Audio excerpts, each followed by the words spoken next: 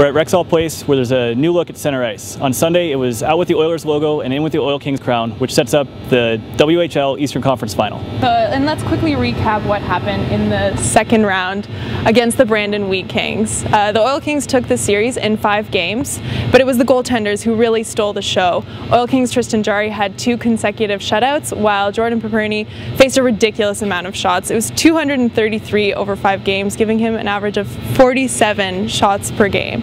But it wasn't enough to save the Wheat Kings, and the Oil Kings find themselves once again in the Eastern Conference Finals, and this time they'll be playing the Medicine Hat Tigers, who actually just played on Wednesday night. Yeah, they'll uh, they'll be feeling the effects of that. They uh, they won a full seven games with Kootenay. They fell behind three games to one, and uh, game five was the the one that really turned the series around. They won it nine to two.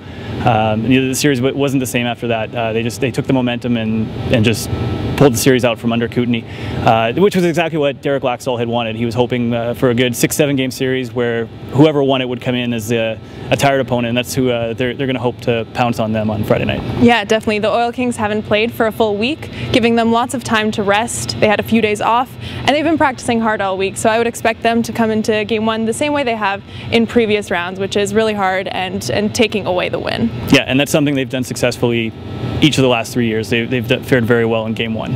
Uh, puck drop is 7 o'clock Friday night, and you can check all of your Oil Kings coverage at edmontonjournal.com.